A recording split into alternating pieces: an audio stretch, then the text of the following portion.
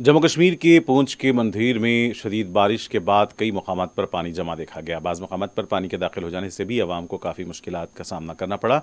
बाज़ दीगर इलाकों से भी बारिश की इतलात मिली हैं।